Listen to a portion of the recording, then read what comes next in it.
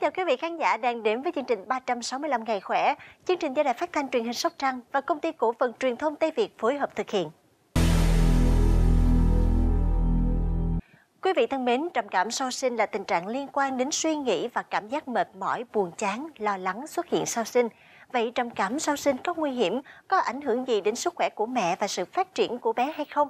Hãy cùng chương trình 365 ngày khỏe tìm hiểu quý vị nhé.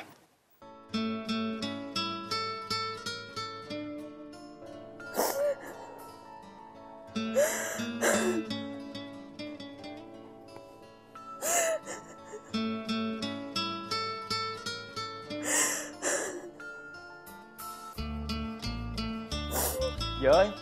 Ủa em sao vậy? Có chuyện gì nói anh nghe thử coi. Em bị gì vậy?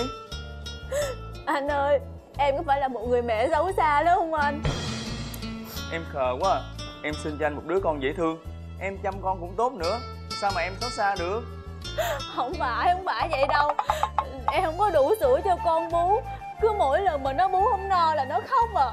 Nhiều khi em thấy em mệt mỏi lắm. Em mà sữa thì cơ địa mỗi người mỗi khác. Nhưng mà em thấy nếu mà sữa em ít á thì em pha nhiều bình sữa cho con bú là được rồi. Là con nít nó còn nhỏ em ơi đứa nào mà không vậy đứa nào không khóc. Không phải vậy đâu. Anh biết á mỗi lần mà con nó bú không no nó khóc á là mẹ nói em này nói em nọ. Bây giờ em ghét mẹ em ghét luôn con. Anh ơi hay là bây giờ ừ, anh đem con về nhà cho mẹ em chăm nó đi anh. Em không nuôi nó nữa đâu. Đâu có được em.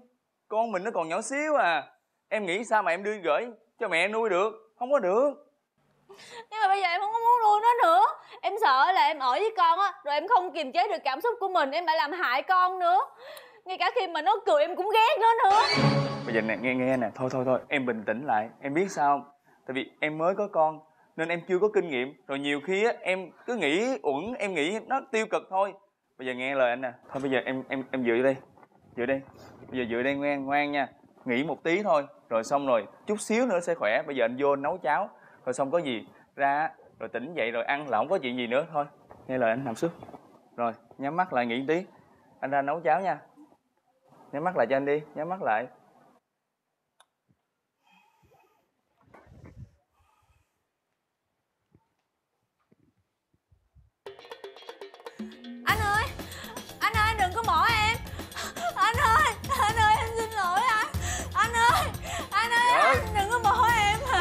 Vợ tỉnh lại. Bình tĩnh lại, vợ có chuyện gì tỉnh lại? Tỉnh lại tỉnh lại tỉnh lại tỉnh lại. Bình tĩnh bình tĩnh.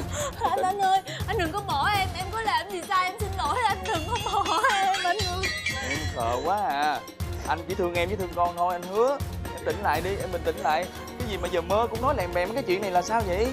Em có sao không? Anh Hả? ơi em nói anh nghe nè. Anh hứa với em đi. Anh hứa với em là anh chỉ được yêu một mình em thôi. Anh không được yêu ai nữa khác nha rồi rồi anh hứa anh hứa anh chỉ thương một mình em thôi. Ngoan đi em thương một mình em thôi nha. Thương con nữa nha không? Em biết mà.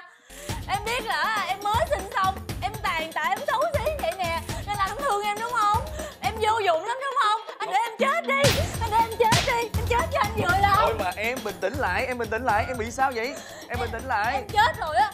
Em, em không làm gánh nặng của anh nữa. Anh vừa lòng anh. Nghe anh nè nghe anh nè. Bây giờ bây giờ không thể nào được rồi. Em em có vấn đề rồi bây giờ đi với anh. Bây giờ anh phải dắt em đi bác sĩ. Không đi vậy được. Em bình tĩnh lại đi em em không đi đâu em đâu có bị cái gì đâu em bình thường mà. Thôi thôi bây giờ không có nói nữa. Bây giờ anh đã rất là lo lắng cho em. Em có vấn đề rồi phải đi gặp bác sĩ. Đi. Em không có đi em ở nhà. Bây giờ đi vô đó thay đồ rồi đi bác sĩ với anh. Không có nói nhiều nữa. Đi. em không có đi đâu. Không có nói. Đi Thưa quý vị, sau khi phát hiện vợ mình có những dấu hiệu bất thường, anh Tâm đã quyết định đưa vợ đi gặp bác sĩ để điều trị. Để biết chuyện gì đã xảy ra với người mẹ trẻ Phương Hằng, Tam Phương mời quý vị đón xem chương trình 365 ngày khỏe kỳ tiếp theo. Mến chào tạm biệt, hẹn gặp lại quý vị trong chương trình lần sau.